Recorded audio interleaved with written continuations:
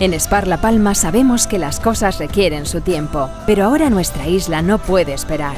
Es tiempo de decirle a nuestros agricultores que también en 2020 nos comprometemos a comercializar más de un millón de kilos de frutas y hortalizas producidas en La Palma. Es tiempo de estar con los que nunca nos han fallado y ahora más que nunca nos necesitan. Es tiempo de La Palma.